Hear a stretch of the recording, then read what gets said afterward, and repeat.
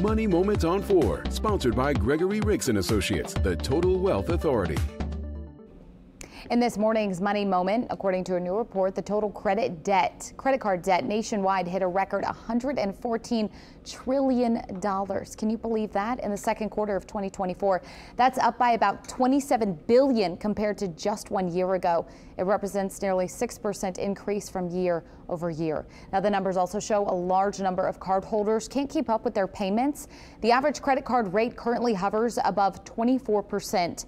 If you've been watching your credit card balance grow recently, or maybe if you're one of the many who's unable to keep up with your credit card payments, it's important to take steps to get rid of your credit card debt now. So here are two possible solutions for you.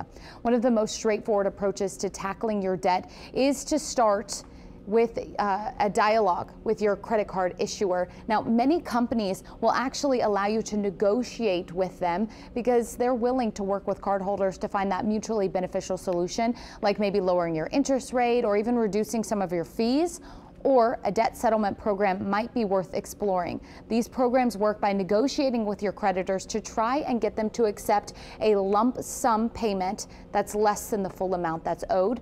The remaining amount of your balance is then essentially forgiven. But approach this option with caution because there can be some consequences to having that forgiven. All right, recently, Vice President Kamala Harris named Minnesota Governor Tim Walz as her running mate, sealing the Democratic ticket. We've been telling you about that. Now, the child tax credit is one of Walz's signature accomplishments, according to Walz himself, something the nation could see shaped by the VP pick if they were to win the presidential race. Minnesota's new refundable child tax credit was $1,750 per child in 2023. It is the most generous in the country for low income families. Expanding the federal child tax credit as bipartisan support, but it could be challenging depending on which party controls Congress. As a key priority for Walz, as he said, Minnesota's child tax credit upgrades were the single biggest line item in his latest supplemental budget.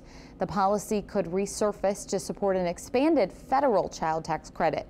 Although experts do say bringing some of the same change at the state level is a lot harder to bring about federally, but something to note. That's your money moment on this Thursday morning.